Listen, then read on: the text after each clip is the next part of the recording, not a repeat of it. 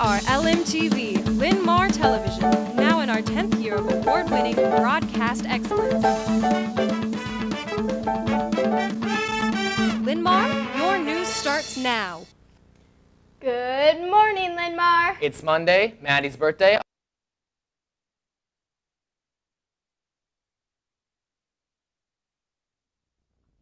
Our top story.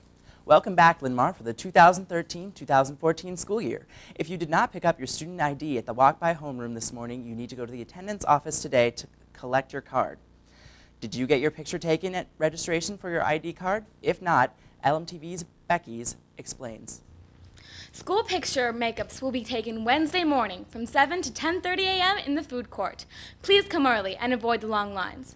If you want to order photos, you must have your order form and payment with you at that time. If you need an order form, stop by the main office and get one. Remember, this is only for students who were not at registration or who are brand new to the district. Matt, back to you. Thanks, Becky. Freshmen, the administration would like to thank more than, the more than 400 of you who came to freshman orientation Thursday night. Starting tomorrow, we'll be, we will be announcing the prize winners from the LMTV speech and drama booth at the activity fair. Watch for your chance to win tomorrow on LMTV. Now Maddie joins us with sports. Thanks, Matt. Today in Linn-Mar Sports, Varsity Boys Golf will host an invitational at Hunter's Ridge. Team dismissed at 11.15 a.m.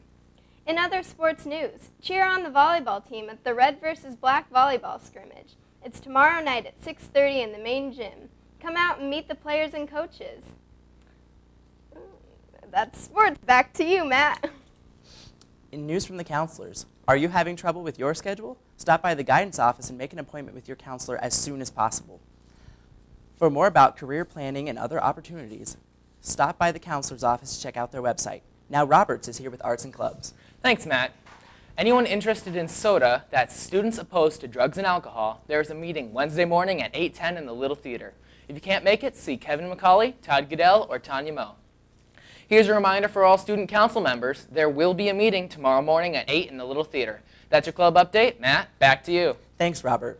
Tomorrow on LMTV, a look at all Metro and all state honors for our baseball and softball teams. That's tomorrow here on LMTV. Maddie, what's for lunch? Well, Matt, it's a chicken patty sandwich with corn, grapes, and a variety of fresh fruits and veggies. The other lines will offer the tomato bar, pizza, or a la carte items.